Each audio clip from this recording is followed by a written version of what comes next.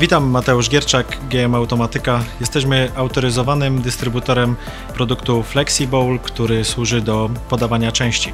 Flexibowl występuje w wersjach z automatycznym e, opróżnianiem, z multifeedingiem, czyli z odpowiednią tarczą, która jest podzielona na kilka sektorów. Flexibowl to jest rozwiązanie, które współpracuje łącznie z systemem wizyjnym i e, robotem.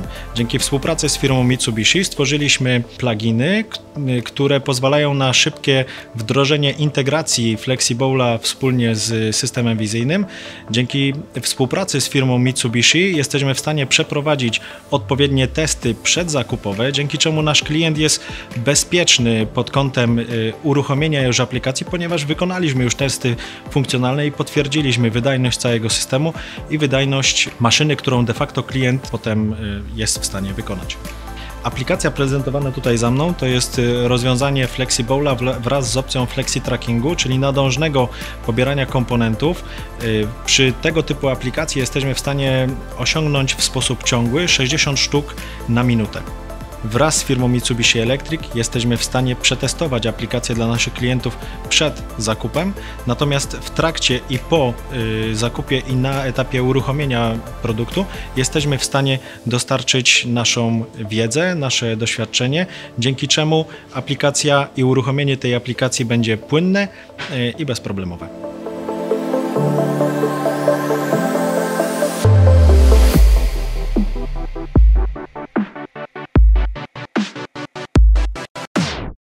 Przy połączeniu robota z urządzeniem Flexible wykorzystującego funkcję FlexiTrack jesteśmy w stanie wykorzystać standardową opcję trackingu kołowego dostępną we wszystkich robotach Mitsubishi Electric.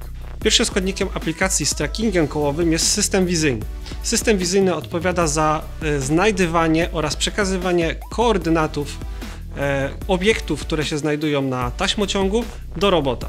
Kamera po przesłaniu koordynatów do robota kończy swoją, swoją rolę i zaczyna się rola robota, który te dane będzie magazynował oraz je przetwarzał. Rozwiązanie, które widzicie tuż za mną, będzie idealne dla branży CPG, w której kluczowym czynnikiem jest prędkość, a dokładność gra zazwyczaj drugie skrzypce i waha się w granicach od 1,1 do 2-3 mm. Czy oznacza to, że nie możemy zaimplementować go do innej branży?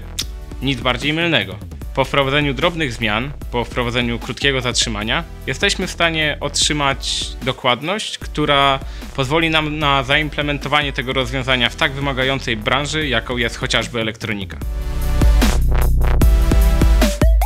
W portfolio Mitsubishi Electric znajdują się szkolenia poświęcone trackingowi, na których możemy dowiedzieć się więcej o kalibracji, parametryzacji, programowaniu oraz debuggingu.